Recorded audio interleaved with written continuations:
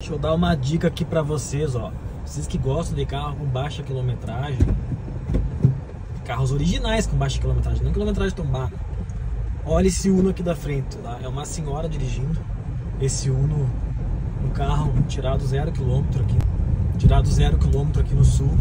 É um carro que com certeza está com baixa quilometragem, um carro que vai ter algumas marcas de uso, porque geralmente a pessoa mais idosa acaba raspando alguma coisa do, da, lateral, lataria, roda, essas coisas, vai ter sim alguns detalhes, mas sempre vão estar com quilometragem baixa. Eu conheço vários carros aqui da minha cidade do mesmo carro desse Uno, tá?